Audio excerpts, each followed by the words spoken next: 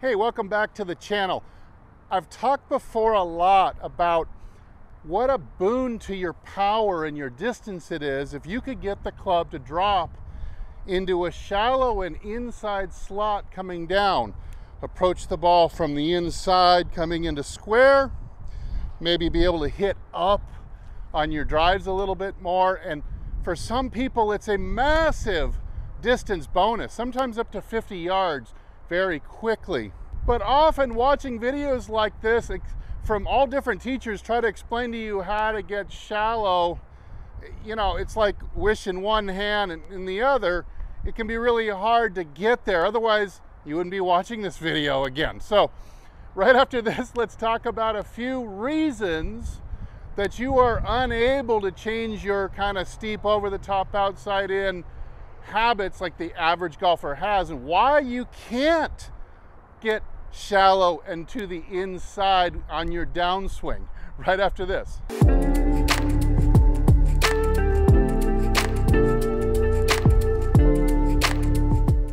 Hey, I'm Steve. I hope you'll continue to support the channel by heading over to my website, hititlonger.com for over 100 more great free articles and videos, and maybe buy a really helpful product while you're there. All right, and let's look at a few reasons why you can't get the club shallow and on the inside. All right, the first couple ideas have to do with the battle, the struggle between perception and reality. So first let's look at using our hula hoop.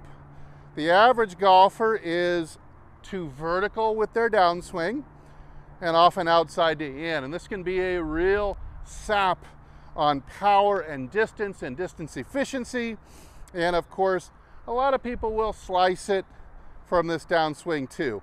So to get shallow and on the inside, we would make need to make the hoop positioned more like this and more like that.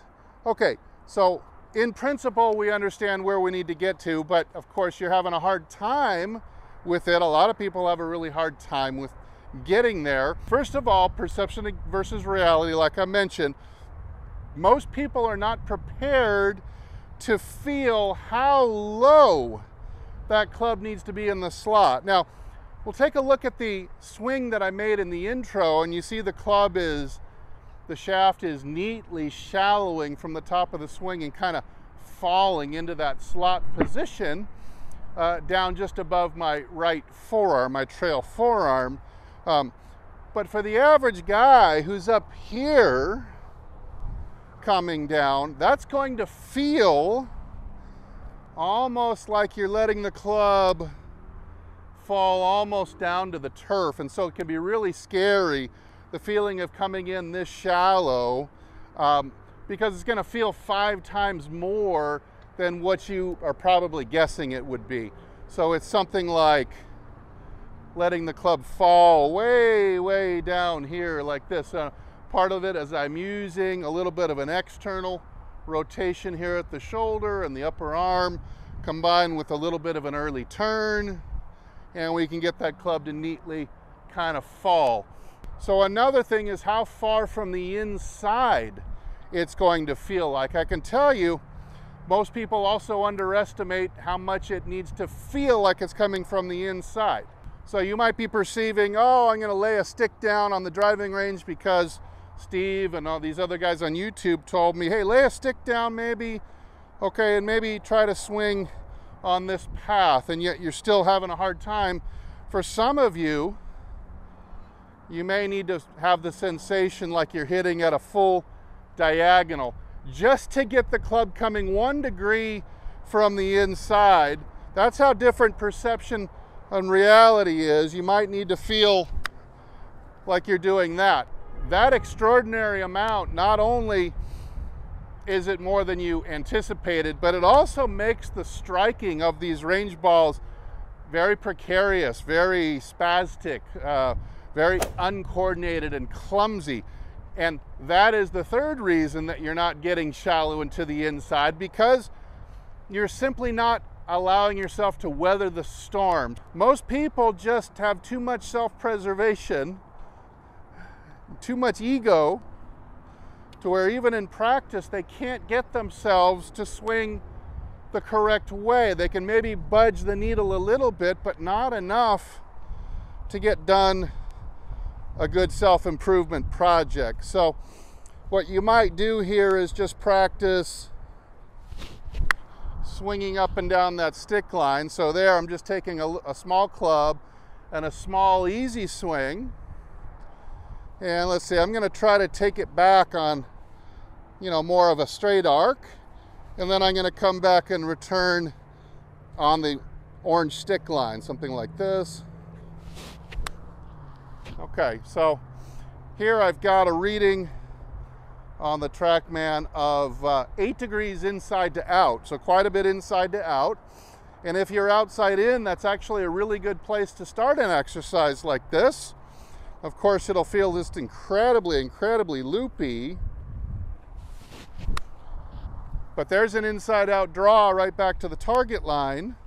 And that one is also eight degrees from inside to out. So I'm swinging quite a bit inside to out on these small swings, which is also a fourth thing. So we've got, let's review, we've got, it's really hard to get the feeling of shallowness because it's so down on the ground halfway down. It'll feel like you're below your waist, almost at knee level coming in, when it's really not true.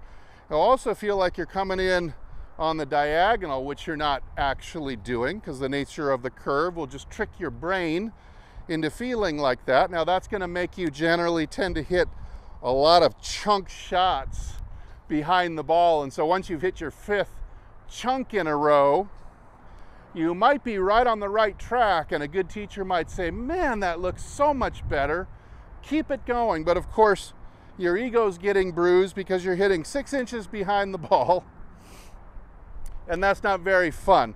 So you have the last thing in, another reason golfers can't get shallow. They simply don't have enough early turn to start the downswing, get the chest really turning aggressively early. And what that does is it allows the handle of the club to work more out instead of down. And when it works more out and around you on an arc, the club center of mass and the head will try to fall in line with that direction of pull and it'll automatically make it shallow. But if you don't add the extra shoulder turn, the chest turn rotation in, uh, and most people don't have enough chest and uh, shoulder rotation through the ball. So what happens, the club's gonna more drop down here and your effort to get this, and the club shaft is actually gonna steepen and you're gonna come down and you're gonna hit the ground about six or eight inches behind the ball and not have a very good time.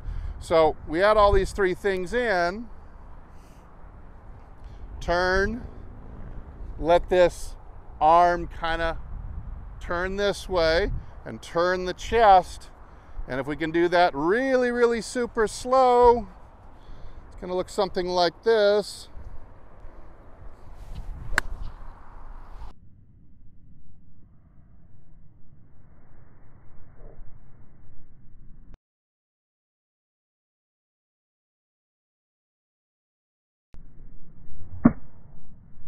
I had to go really slow so I could get some kind of coordination going with those three ideas all together. Now, you don't have to do all three of those projects at once. You could narrow them down into maybe three little sub drills. Number one, where you kind of work this little move here. You could also just hit some balls up and down this orange stick line to get the feeling of coming from the inside. It's also a good start.